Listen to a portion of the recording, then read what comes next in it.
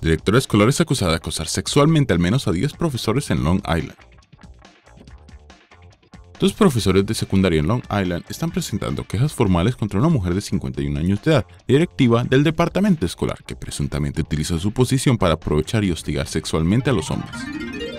De acuerdo con los maestros, Cecilia Sanosian se refirió a varios subordinados masculinos como hombres con los que le gustaría dormir, y llamó a uno de ellos un chocolate caliente que los estudiantes aparentemente querían comer.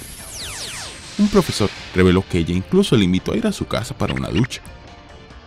Otro profesor, John Brennan, de 42 años de edad, dijo que cuando Sanosian comenzó a darle un masaje, él se sintió reducido e impotente.